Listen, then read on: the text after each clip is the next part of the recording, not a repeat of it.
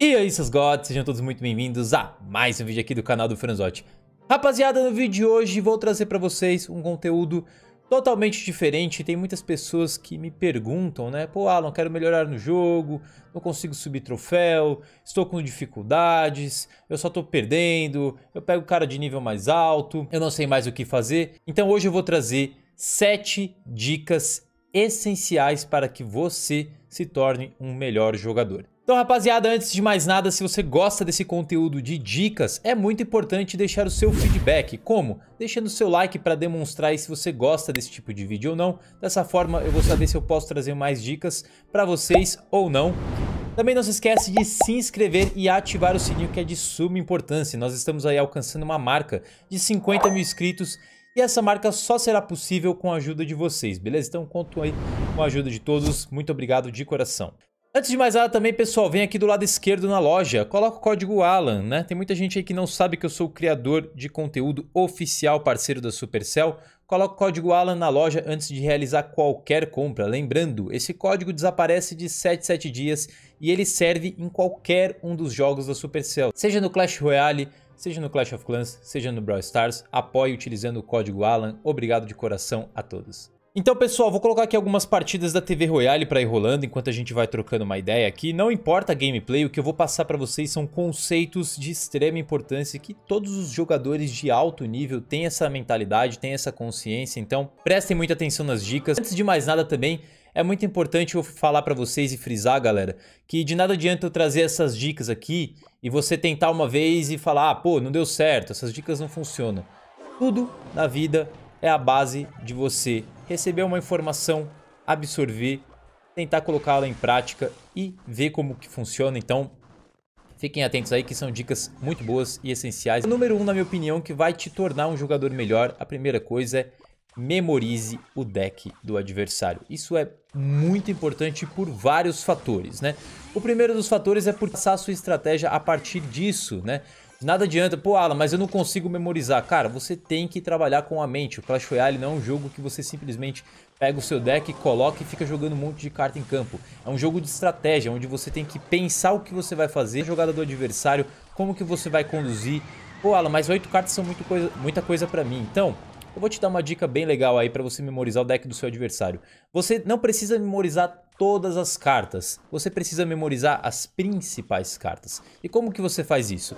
A primeira dica é, preste atenção na carta principal dele de ataque. Então, por exemplo, qual que é a carta dele de ataque? É o Gigante Al? É o Corredor? É o Balão? É o Lava Round? É o Gigante? É o Gigante Elétrico?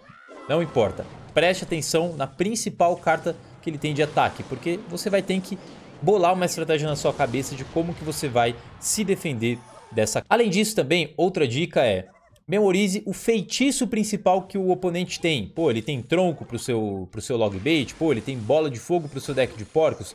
Você tem que ter isso em mente, porque se você não souber qual que é o feitiço que o cara tá utilizando, você não vai saber como você vai conduzir a partida. E a terceira parte que é muito importante de você memorizar o deck do oponente é saber quais cartas que ele tem para defender o seu ataque, né? Então, por exemplo, pô, eu tenho um gigante elétrico, mas o cara tem pescador, então tenho que tomar cuidado no momento que eu vou jogar o gigante elétrico. Quando eu for jogar, eu tenho que dar relâmpago, tenho que puxar com tornado, enfim. Isso são apenas exemplos de como você pode memorizar e quais cartas são importantes memorizar no deck. Então, dica número 1, um, memorize o deck do oponente. Dica número 2, esse daqui eu diria que é uma das mais importantes que tem, que é o grande erro da grande maioria dos jogadores de baixo nível.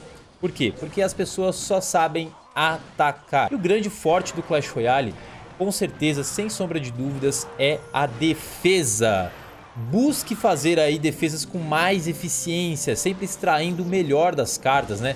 Usando o tempo correto e o posicionamento correto, porque se você defende com eficiência, o seu contra-ataque, no caso o seu ataque, ele vai ser muito mais poderoso. Então busca defender mais do que ficar atacando. Tem muita gente que só sabe jogar as coisas na ponte. Pô, deu elixir, o cara dá na ponte. Claro, tem situações que você tem que jogar na ponte, porque, né, depende das variáveis do jogo, mas na grande maioria dos casos você tem que priorizar a sua defesa, tá? Ataca com pouco, não precisa levar a torre de uma vez só, né? Tem muita gente que, sei lá, o cara joga de corredor, o que, que ele faz?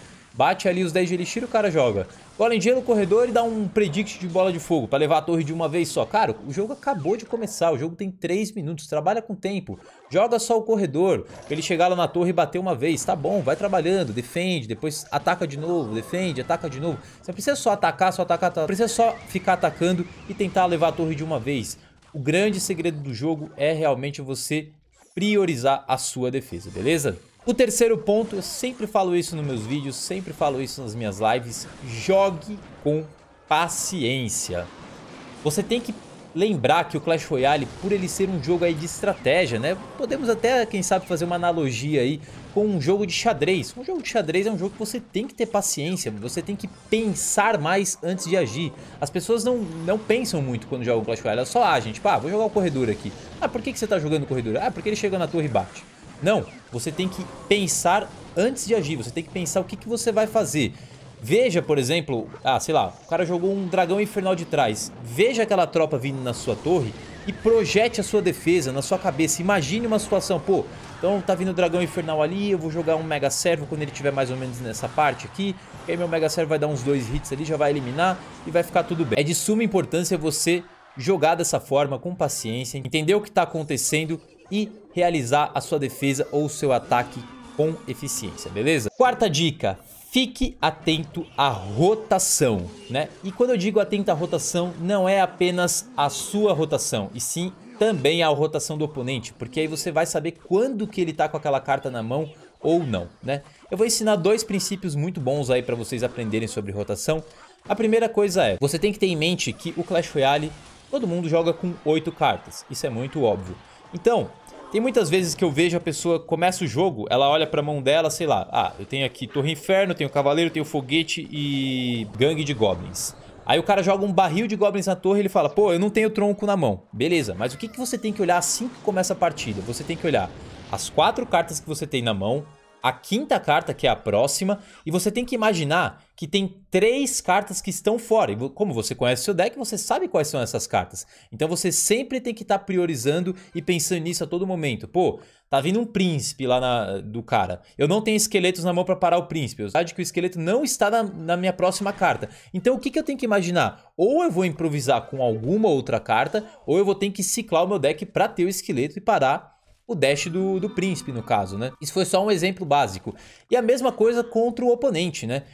No Clash Royale, para você ter uma carta de volta na sua mão, você tem que jogar quatro cartas, né? Então você vai jogar a carta, vai jogar uma, duas, três, quatro e você vai ter essa carta novamente na sua mão.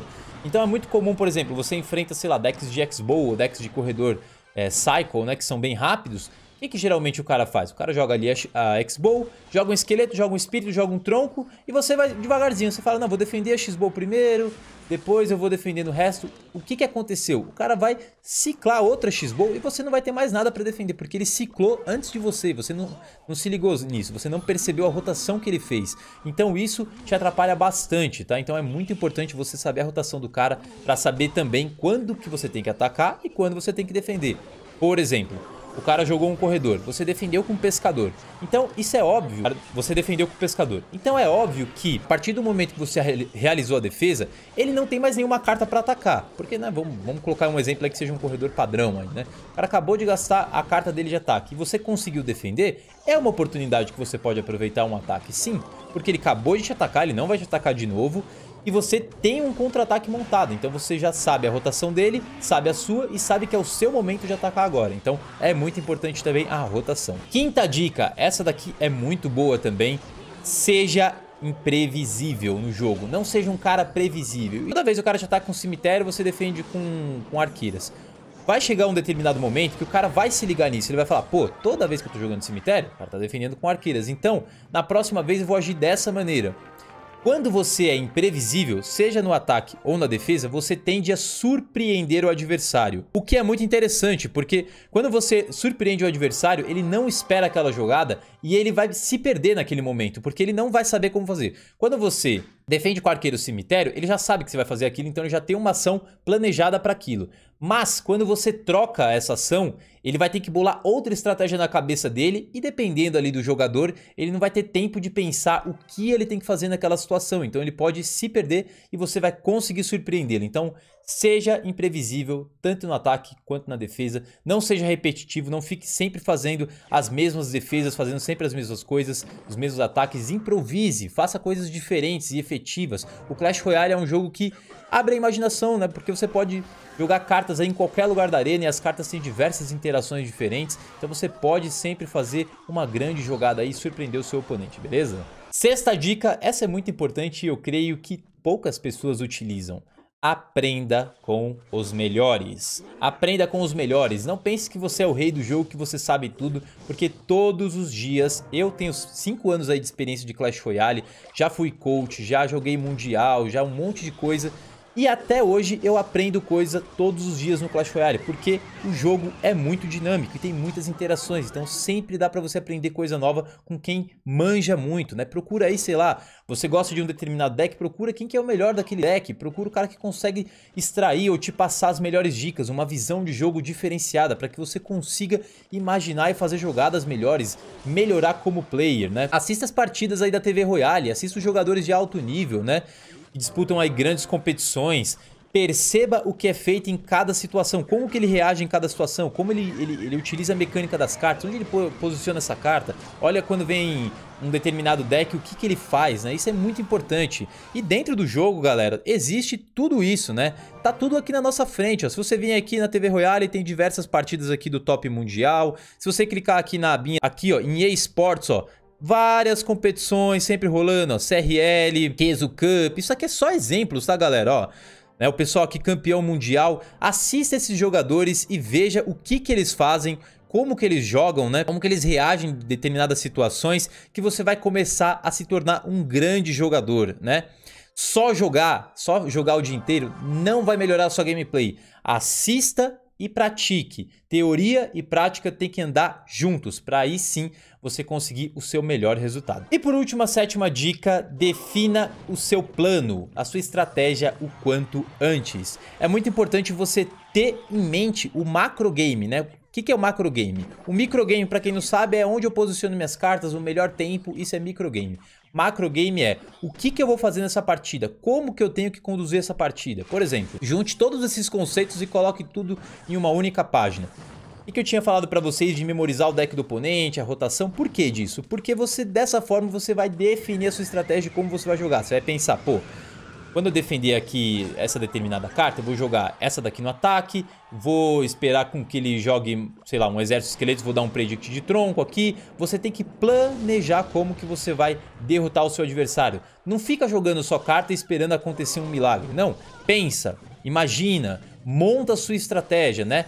Como eu disse a analogia do jogo de xadrez, um jogador de xadrez ele não move uma peça por mover, ele move uma peça imaginando uma jogada do oponente, como que ele vai né? Como que ele vai fazer outra jogada em cima disso. Então sempre planeje as suas jogadas antecipadamente, defina o seu plano, defina a sua estratégia o quanto antes. Perceba se você tem vantagem ou desvantagem. Pô, eu tenho desvantagem de deck, eu tenho que jogar de uma forma mais segura e tenho que jogar no erro do meu adversário. Pô, eu tenho vantagem de deck, então realmente eu posso jogar aqui um pouco mais agressivo porque eu sei que ele tem poucas respostas pro meu deck. Isso é muito importante você ter em mente, galera, beleza? Então, rapaziada, essas foram as 7 dicas para você melhorar o seu jogo aí. Eu espero que você absorva todas essas dicas, entenda e coloque todas elas em prática, porque eu tenho certeza que com a minha experiência, de tudo que eu aprendi durante esses 5 anos aí como coach profissional, eu vou conseguir mostrar para vocês aí um caminho bom. Claro, você não vai ter resultado do dia para noite, você vai ter que trabalhar, você vai ter que aprender, você vai ter que se dedicar. Se você quer realmente ser um jogador melhor, você vai ter que se dedicar de alguma forma. Não adianta você virar da noite pro dia, receber essas dicas e achar que você vai ser o melhor jogador do mundo. Não.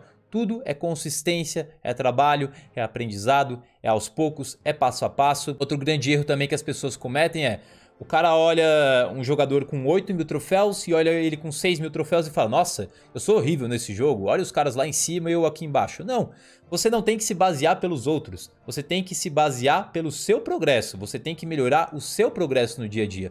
De nada adianta eu ter 6 mil troféus e querer ter 8 mil, sendo que eu nem bati 7 ainda, né? Então você tem que ir por etapas. Aprenda, melhore a sua gameplay, supere os seus recordes a cada temporada perceba como os melhores fazem para você replicar isso dentro da arena e você vai ver como você vai se tornar um jogador melhor a cada dia, beleza? Então eu espero que vocês tenham gostado desse vídeo, deixem muito like nesse vídeo aí rapaziada. Eu bolei aqui diversas estratégias para trazer para vocês o melhor conteúdo técnico do Clash Royale brasileiro que você só encontra aqui no canal do Franzotti. Então deixa o like, se inscreve, obrigado a todos de coração, rumo a 50 mil inscritos, código ALAN, eu vou ficando por aqui, até uma próxima, fui!